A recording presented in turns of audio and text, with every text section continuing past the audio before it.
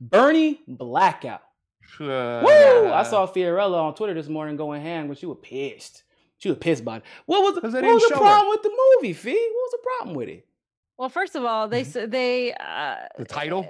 Yeah. Right? Well, I mean, no, I still think he got. I still think that they didn't show him as much. I mean, my mother would tell me they're not showing his rallies on CNN. They're they're really like that's how she got really like radicalized this time around because she was like, "Oh my god, they're not talking about him a lot." There was a blackout, not as much as there was in 2016. It was more negative spins on media. Mm-hmm. But what really irritated me was the um, propping up of people like Chuck Rocha on on there as if Chuck Rocha, who was propped up a lot, unfortunately, by Rising, um, by by you know Krystal and uh Saagar because they I mean they didn't know but like yeah. he was consistently propped up by them and he's still going on these shows propped up by the mainstream media as if he was the reason Bernie Sanders won the Latino vote and I can't tell you how that irritates the hell out of me mm-hmm. when I mm-hmm. hear that because that man was nowhere he was barely ever here Texas lost, you can tell that Texas didn't have the organizing that we had here because we, in spite of all the ch- cheating, we won.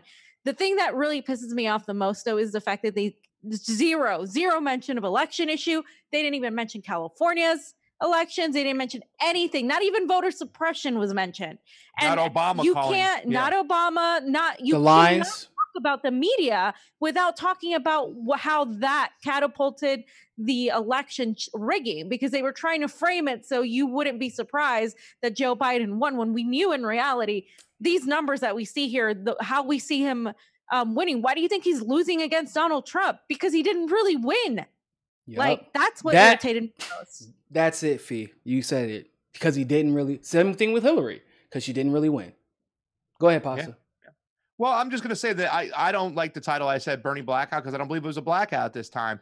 And it really, we have to look at this movie and really take, I don't think a lot of people are going to take from from it what they really should anytime the media attacks you like that, you got to do what Donald Trump did. You got to make it a golden opportunity to attack them back. Who are you with again? Oh, fake news. You know, Donald Trump was attacked from his candidates. He had to take him on. He had to, he was attacked by Rubio, Cruz. He had to take them on, and then he had to take on the media at the same time. I even talk about the fact that you know Tulsi Gabbard took a lot of the candidate pressure off Bernie Sanders. She went after everybody. All Bernie had to do was take care of two people.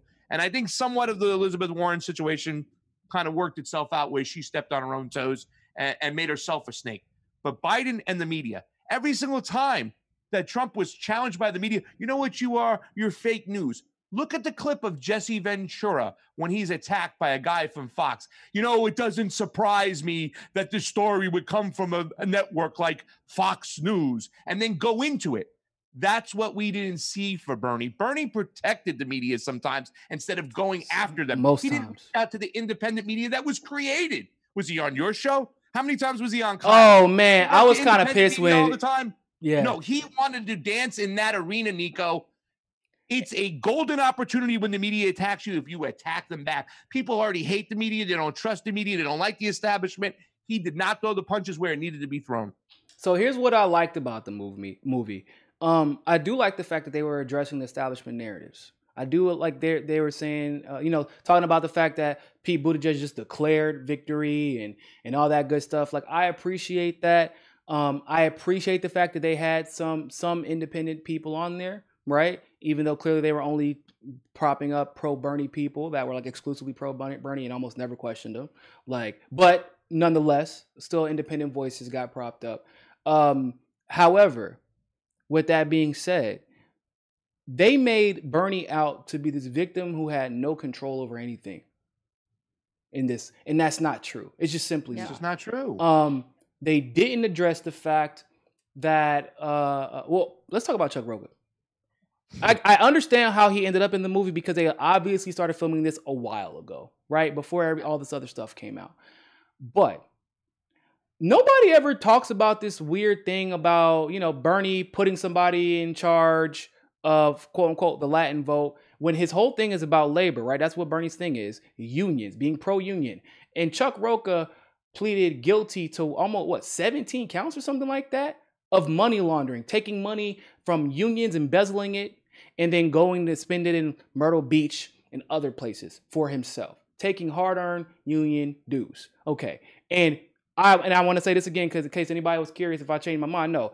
If Chuck Rocha was a black man, I know for a fact he would have never been on that campaign with no goddamn felony charge. Hell, if Chuck, Chuck was a black man, he would have been in jail for what he did. But Chuck Rocha never served jail time. Why? Because he was union leadership. The usually the most corrupt members of unions are union leadership. That's why he got away with it. So you see him hire this man who is a lot. He's a Latino, but he's white for all intents and purposes. The man considers himself a cowboy. He talks with a country accent. I'm not quite sure how much Spanish he speaks. I'm sure he speaks enough, I guess. But he then goes forward to take credit for all the Latin votes. And like Fiorella said, that was not a thing. But they are allowing him to pontificate, right? He said, oh, we focused a lot on independent media. What's what's the example of that? Like Krystal Ball and Saagar. I love Saagar. That's my boy. I, I really like Krystal. I, I like their show and I like what they're doing. Krystal and Saagar are not independent media. Yeah. They're not. And, that, and that's and that's uh, and it's, actually it's okay yeah. to say that we finally have a mainstream media that we can tolerate. That's sure. that's okay to say. But don't but they kept propping up Krystal as if she's some independent journalist. And she's not. Krystal's a multi-millionaire 40 times over, bruh. 40 times yeah. over, and I think she's only a couple years older than I am. Yeah. So and she, and then she had, you know, it, it, she's a she was a DC insider. So was Saagar. Saagar talked about that on my show. Like they have their connections and they get connections to these campaigns because of who they are. That's but then you uh so but other than that, Bernie went on Joe Rogan, and then Bernie went on Kyle Kulinski, where clearly they were they were both limited in the questions they were allowed to ask him. Nobody was nobody in the independent media world was ever allowed to challenge Bernie like they were allowed to challenge Yang, like they Never were allowed to. Ch- yeah, you yeah. How do you go? Yeah, you were trying to go on independent media, That's but ridiculous. But Jimmy's the most influ- other than Joe Rogan, but who I don't consider him opinionated. Like Jimmy's the most opinion, uh, uh, uh, uh, most influential opinionator, like opinionated commentator in this movement right now. And you don't go on his show. How? So you didn't prop up independent. What you did was we found people who were going to unquestion, unquestionably back Bernie and everything he does and never question him no matter what. That's what yeah. you mean. So let's be clear about that. So yeah. also, can I also say something about Chuck before you get away from it? Because the whole thing that really disgusts me about Chuck Rocha in this video, and I know Fiorella was really pissed off when I she made a loud laugh, is when they started when Chuck presented this image and Vice, you know, supported it that he was the connection to the grassroots. That's why Chuck Rocha was involved in. He was the guy who's I've dealt with grassroots politics my whole life. They That's disemboweled themselves. They he separated themselves from the grassroots so much in 2020 it was disgusting. The grassroots was thrown in the basura to never be seen again. It, it was all establishment players, and Chuck Rocha had a lot to do with he that. He said consultants too. Yeah. Like oh, he didn't even say, he said, uh, I've dealt with consultants and blah blah blah, and so I know how to like that. Those two don't go together. I mean, the time La- Latino consultants matter. Grassroots. The time, uh, what? Latino consultants matter. Let me say oh, something yeah. about that. Hashtag brown consultants matter. Yeah, brown, that's, that's, that's, what it, it is. That's can um, I first can, of all, yeah. Can, I say something about that? Let me just be very clear about something. Chuck Rocha, Rocha is co-opting the plight of brown and Latino people and trying to funnel money and networks into his firm. Yep. Don't ever let you if Chuck Chuck Rocha, like I said, his he may be Latino nationality, that may be his ethnicity, but make no mistake about it, colorism is still a thing in Latin America. And if if he was really out here looking like the rest of the brown community, you, first of all, you're never gonna be a union leader. We don't, you don't even get a chance to embezzle union money if you're really out here looking like damn Johnny Tsunami back here. Okay, looking like you came straight out of the damn uh, mountains of Peru in this bitch. Okay, you're not gonna get the damn job. So, but if you get the job and you embezzle the money, oh, your ass going to jail. You're going to jail. You're not, and you're not getting hired. Matter of fact, if you're actually Brown, you don't ever meet Jeff Weaver for him to pull the strings to get you this job. So let me be clear about that. The last thing I want to say is the one thing I loved about it was they really did they they they uh they threw a lot of praise on Nina. They really did. And I love, man, listening to her speeches and I hear them all. I still get goosebumps when I hear, I'm like, bro, how did you not listen to this woman? How did you not listen to this woman? But on the other side of that token, you notice how they were bragging about how they went out to the Latin vote. What, what about the black vote? Who was who was that coordinator? Hmm? Who was that coordinator? I'm, I'm genuine because I know who was in 2016. His name was Marcus Ferrell, and he was ignored at every single turn by Jeff Weaver and Bernie Sanders. Unfortunately, Yeah, they didn't have one. But and Nina Turner was supposed to be the like the one that got it, but again, she was stopped at every other and she was ignored. Yeah, every black person who was on the staff this year said that Nina was ignored at every turn. So that that was massive to me. Like I know I know for some people like think, little things like that are innocuous, but for me being a part of these campaigns in one form or another, uh, being a part of other political campaigns and being a black man, a black progressive in this space, I know what apathy looks like, what racial apathy looks like. And I know when someone is taking advantage of being able to claim something without ever, ever having to really deal with those experiences. Chuck Rocha is everything wrong with the progressive movement. The reason that a lot of these neo-progressives have been able to get away with basically co-opting the movement by while riding Bernie's coattails while pretend like fucking David Pakman. I'm Argentinian and Jewish. I'm not white. Well, if you don't get your blonde hair, blue-eyed ass out the fucking face, are you kidding me? Th- But this is what you see. And they will take all the credit, never give credit to the brown people who are knocking on those doors. That's the thing. That's what irritated me the most is that I saw uh, my community really knocking on doors for Bernie. I was knocking on doors for Bernie, talking to a lot of Latinos in the, the neighborhoods, East LA, Mhm. here. Chuck um, Rocha ain't walk, Chuck Chuck Rocha rock, walking down East LA, knocking on doors. No, no, he didn't. I mean, he he took a photo op to make it look like he did, right? That's what he would do. Yeah. But he wasn't going to do that. I don't even think he can speak Spanish properly. But you know, it's not even about that. It's about the fact that he was t- taking all credit, and a lot of people. We I would get hey, we so need to drop Chuck on Rocha off in Santa Ana and see see if he survives. well, the Niko, like I'll go on Twitter. I would go on Twitter not too long ago, and I'd say something about Chuck Rocha and be like, "Oh no, but uh, Chuck Rocha. I mean, he was on Rising, and um, you know, he he got the Latino vote for Bernie. Like Bernie would have never gotten the Latino vote if Oh it wasn't for him. That irritates the fuck out of me because that did Mhm. not happen because of Chuck Rocha. That happened because of the blood, sweat, and tears of the field organizers, of the volunteers that were pushed out by the, the likes of Chuck Rocha, who hired all of these union corrupt motherfuckers like the the um Lewis Myerses and the Jorels, all these people who were hired by Rocha, who were also who also hired Shelley Jackson, who is now engaged to Jeff Weaver. I mean, this is a cabal. It's just typical Democratic Party behavior, right? Like Yeah, sex, lies. I got a question. I got a question for you, and I would- I would love to know what you think about this. So obviously, Bernie had no problem, which is interesting because Bernie is very, very like he's he's weird when it comes to people taking credit for anything that has to do with his movement. He's always been weird about that type of stuff. Um, but he let Chuck Rocha take all kinds of credit over and over and over again, and he uplifted a consultant, which is probably the first time that we had ever seen him do this. Once again, I gotta ask, why weren't you uplifting? Where that black consultant with that black progressive firm? Where where were they at on the on the Hill Rising? Where were they at in these? inter- Yeah, you said, oh well, but Nina, no, no, no. Nina was a co-chair who was a senator who had already earned her own goddamn clout and put in the work. And uh, I won't say I would say that she was elevated by Bernie, but really it was always okay. After Jeff Weaver fucks everything up as usual, hey, pretty please black woman, come in and fix it. That's what basically Nina Turner has been a fucking cleanup woman for Bernie Sanders and his mistakes. But where's the black consultant that should have been paid the most money from the beginning? If you're gonna pay anybody the most money, it need to be Nina Turner. Hell, maybe Brie and Nina might need to, because the shit that they took, they might need to be paid the most, like the same. And then whoever that black consultant is, considering the narrative has been for four years straight that you have not put enough effort into the black vote. But instead, you brought in you you brought in black people who what it seemed like the campaign felt should just be thankful to be a part of the fucking movement, working for free, traveling. Yeah, they get their you know expenses covered, but they weren't getting paid like Chuck Roker. Bernie wasn't giving them. I know for a fact Bernie was not giving those people the time of day when it came to how do you get the black vote. No, you know how you get the black vote? Just tell Ber- everybody how great Bernie is for black people and what he's done for black people. Well, yeah, but we need a strategy. No, no, no. Just go up there and talk about how great he is and how much you love him. Like that type of shit. And then programs like Vice elevate people like Chuck Rocha. And it's just, a, it's, a, it's, a, it's cyclical. We see this Yep. over and over and over again. It's just so frustrating and tiring. I know we, Well, they elevate frauds.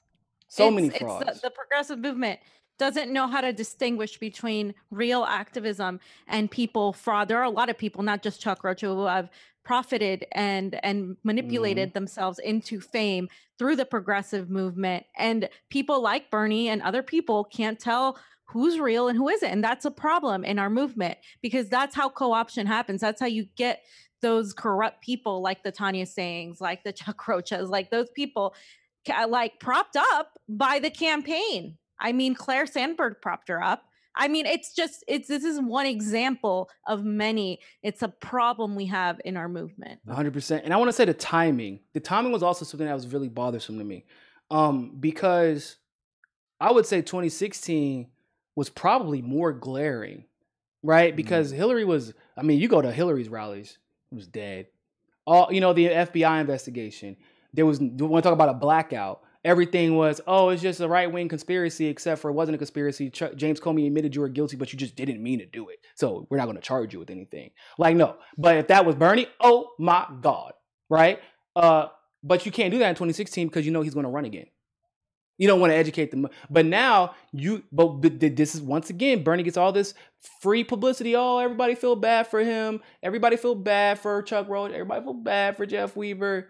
But y'all didn't take the steps to stop it. But most importantly, Vice didn't care. Bernie blackout. Anybody want to talk about how Vice treated Bernie over the last four years? Yeah, hmm. exactly. Yeah, yeah, yeah, yeah. But they couldn't. They but the thing now they can do an autopsy of the campaign because um at least and it, let's be honest, right? It wasn't favorable towards mainstream media. They were really going at mainstream media's neck the entire. But it looks like they were just going after their own competition. Not that they were, because they didn't cover any of the ways that Vice covered the shit, which is interesting to me. And I noticed it; it was glaring. I'm like, hold up, so y'all not gonna talk about how Vice been covering this? Because I, I remember they've either blacked him out, allowed smear articles to be written, unverified propaganda to be written by him and other progressives. But now y'all want to go at CNN, MSNBC, Washington Post. You can go at everybody else now after the fact because you know that Bernie Sanders is never going to run again. It was a, it's a joke like I, I, like some of it I'm happy about because I know they're mainstream media, so people will see it hopefully in a yeah. light that they haven't seen it in before. Now that the mainstream media is confirming this, but at the same time, uh, I, uh, uh, I, always question ulterior motives when it comes to this type of shit. Uh, when we've been saying all this, why didn't you say this during the election? Where was this at before? Yeah, yeah, right before sure. the you didn't even need the Iowa and New Hampshire shit. You could have just from the last year, before the elections even started, you could have released this right before February from all the shit that we had dealt with. That. But you didn't do that and you couldn't do it because you're still mainstream yeah. media. Go ahead, Pasta. I was just going to say, just for the record, I reached out to the Bernie Sanders campaign to try to be Italian outreach, and I was denied. So you're not you're not Sicilian very enough, hard man. being an Italian man in America nowadays. Did you bring in your bolognese?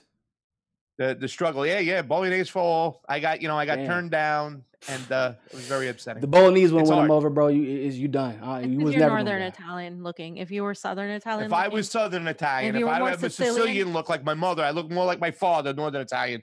Niko, it's tough. It's hard times over here. Honestly, considering how the Bernie Sand campaign moved in the past, I figured being more northern Italian looking, white, like that's more acceptable. You, I'm surprised you didn't get a two hundred thousand dollar consulting job with them. I should have. I to not do shit. Turned us down. You're too close to Weaver. Italian consultants matter, fam. It's a me, a pasta. Italian consultant. Who doesn't like it, the pasta? just walk around saying that. Going all the Italian Americans, they're pretty much most of them are voting for Trump. I'd like to go over there and try to get some of them over there and stuff like that. But as far as the blackout, I feel really felt that Tulsi was more blacked out this time around. Bernie was just negatively attacked all the time and just didn't take the opportunity to throw it back at them because they started attacking Tulsi at first, but she just bit back. You know what I'm saying? And they were like, mm-hmm. all right, let's stop attacking her. Let's just black her out. Yeah, they were like, you know what? This is not working out how we thought it was going to work out. So let's just shut up altogether. And yeah. like, this isn't like 2016. It wasn't six debates. You know, there was a multi, Bernie was part of every debate. A lot of people said he won the majority of the debates.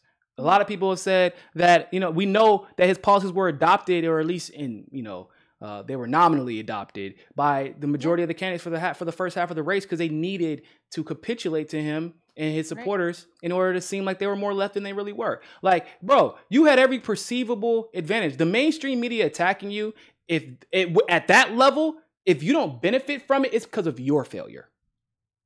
It is like there's Trump figured it out real quick. Totally. Who's bad? Republicans, Democrats, media, everybody, fuck them all. Yeah. because they goes all to screwed. the, Go the ahead. strategy, though, Niko. That It- goes yeah, back to the bad strategy. their strategy was you cannot resemble Trump in any way, shape, or form. The Democratic Party has criticized you, saying that you are the the equivalent of Trump on the left, which is actually what he should have aimed for instead. And uh, he wouldn't have lost all the all the you know the independents, the libertarian, all those people he had in 2016. He wouldn't have lost them. Instead, they, their focus was take your base for granted. Literally, it was like you have your base; they're going to be with you no matter what. We need to focus on the people that are maybe like Bernie, but still need to get convinced. And that's the centrist. That, that's Yeah. that was their focus. And that Take was your base for nail in the coffin. take your base for granted and throw your allies under the bus. That's how we'll get there. Like form what? no coalitions. Oh, right for don't don't reach out to anybody for an endorsement not even clyburn who you literally would need to win south carolina like well I, you know i got my problems with clyburn but whenever i read that article that bernie didn't even reach out to him for the endorsement i say are you so you just and once again very emblematic of bernie sanders is his and his behavior like how do you not you go beg for that fucking endorsement you go beg for it this is your last chance Yeah. You go beg for that shit you show South how Carolina. yeah, in South Carolina. How you I mean, show come how on, humble you, you, need that are. endorsement. You show how But for- humble you are. You show how you're willing to let the black community lead where we need to lead and lead him in the right direction when it comes to our issues. You go do you fucking suck it up, suck up your pride. You go beg for that fucking endorsement for Clyburn. Cause they can't For the record, go ahead. No, I was just gonna say for the record, um, there there this was such a really large campaign, and there was a team designated into getting endorsements. And believe me, that Clyburn the special. endorsements that they There's they so- had issues getting everybody's endorsements. They even had issues with AOC. They had issues with Ariana Grande. There like is- they they they the people who were in charge of the endorsement process fucked it up. But there are some people you ain't got no team. They ain't no team that you don't go get Clyburn's endorsement with a fucking team. You walk in there Yeah, with Bernie, with. Nina Turner, Cornel West, and Killer Mike, and his black, and you sit down and say, "I'm That's just here to listen." Yeah. That's what I'm here to do, and to ask you, or no, fuck that, beg you for you. There are certain people, even with uh, uh um Andrew Yang, you don't fucking send a team to go get that endorsement from Andrew Yang. You go out and fucking get it. You don't send a Yeah. team for Tulsi. A team, whenever Tulsi said, you know, I talked to his team, I mean, fuck that. Why the hell wasn't Bernie answering his own fucking phone? You know what I'm saying? There's there I understand some people like Sarah so Ariana Grande, I would send my team. I would. Uh, there's some people that I would just send a team, but there are some people whose endorsements are so coveted in politics. You don't go fucking send a team. You get your ass up in politics. Know yourself. We know you know how to, Yeah. Bernie. We know you fucking know how to politic. You can't pretend like you don't know how to when it's time to go to suck to. Whew, don't get me started. Don't get me started on that shit. Um, I'm sorry, y'all. It just it's, it's very frustrating because you just see this this this. no, he should. have Clyburn was important. Clyburn was important. Yeah, it, it, it- but it's Yeah. once he should have showed up with Jesse Jackson if he had to. it Whatever, shows just that go get to get on your team, and you should have got to him early. But a lot of people made mistakes in South Carolina. Even the Tulsi team didn't send the proper people out to South Carolina early enough in time and do what they needed had to do. South Carolina was forgotten and messed up by all the progressives. It was, but Yeah. Tulsi also didn't have the fucking money. She had to react late to South Carolina because she was spending most of her money in New Hampshire at the time. So, like, yeah, there was mistakes made, but Tulsi went after Clyburn's endorsement. I know for a fact she did. So, um, I mean, there, there was no there was no pride and ego in how Tulsi went about her business in that regard. And I'm not saying you can't have any pride. I'm not saying like if he rejects it, then you just go go back and you know keep going back and, and like I'm not saying like do that. What I'm saying is respect the black vote that you want so fucking bad. Respect the respect the black voices that you all exploit so much to pretend like you give a fuck about racism as much as you really don't. Okay? Like Yeah, yeah. if you want to you owe black or brown consultants matter, then respect the elevate those fucking field organizers. Those people matter. Yeah. The ones to those ones who org. Lord, yeah, listen, y'all. I mean, I'm not. I'm black, but I got uh, half my family's Latin, my white Latin. Look, you know how hard it is to organize, or, or, uh, organize Latinos, bro? They on a different time zone half the time. Boy, you can't get them on time. Y'all know how long it takes for you to get to the studio? Come on, man. Get them fucking field organizers a job That's and pay it. Racist. Ah, that's sexist. Sexist, It's Racist. sexist. misogynist. That's it. All that shit. You're. Trump. You're canceled. But But in all seriousness, Cancel uh, you you see this over and over, and our movement is suffering because it's it. We want to pretend like we're this diverse, uh, uh, like a, a concoction, like a mixture, right, of all these different backgrounds and ethnicities, races, and gen- no, no, we're not. We're a fucking salad, and everything is sitting separate. Some people are sitting over here, some people are sitting over here. So we have all the ingredients in the bowl, but for some reason we're afraid to mix the ingredients together. I don't know how it might taste. What if the tomato overwhelms the cheese? Like we are never going to get anywhere the more we continue to elevate these milk toast ass white neo progressives. I don't know how else to fucking say it. And and we don't start taking seriously Exactly. the the progressives that the people of color, the black people, the progressives who've been through this, and that's why they fight, not because of what they have to gain, but because they don't want anyone else to lose and sacrifice as much as they've had to lose and sacrifice their entire lives, or their parents have had to lose and sacrifice their entire lives. Now, with that being said, I know Paz was supposed to go a while ago, so we'll go ahead and wrap it up. Uh, make sure that if you are here, go follow the Convo Couch on Rokfin before you leave, considering endorsing, You nice endorsing little viewer here. endorsing Niko House at Rokfin. You can go endorse and you get all the premium content and every other Thursday Rokfin premium stream going forward. Uh Pasa made sure to make a special told me to make a special announcement that you don't have to go endorse them. He would just rather the endorsements go to me. Um that's what he said. No, I said if you endorse the Convo Couch, we get your stuff for free too as well. I don't think that's what you said. Um but No, I said if you endorse the. but uh said in all in all seriousness check, in all seriousness, y'all, go check out the Convo Couch. And if you love their content, make sure you endorse them. They put in a lot of hard work uh, on the ground and, and, on- and on the camera. So if you are a big fan of the Convo Couch, you come here by way of them, go endorse them. I mean, I can't, I cannot speak enough. I cannot speak highly enough about Pasta Fiorella and Johnny. That's for damn sure. I appreciate you guys coming on today. Thank you, Niko. Yeah, thank you Appreciate for having us. Well, when we get together, if we ever get a chance to, we'll go get some donuts. Oh, you damn right. On me, donuts. baby. On All me. right. With that being said, ladies and gentlemen, thank you all so much for tuning into this live stream Rokfin inclusive segment of Mikasa Sukasa. And I always remember more than anything else, find your balance. Peace. If you like that segment of Mikasa Sukasa, don't forget to like the video and smash that subscribe button. Want access to members only live streams, behind the scenes footage, and other premium content? Well, you can endorse us on Rokfin Premium, become a patron through Patreon, or you can sign up for the MCSC Premium membership through YouTube. All the links are in the description below. But hey, more than anything else, More than anything else, More than anything else, more than anything else. always remember Find your balance. find your balance. find your balance. Find your balance. Find your balance. Find your balance. Find your balance. Always remember, more than anything else, find your balance. peace.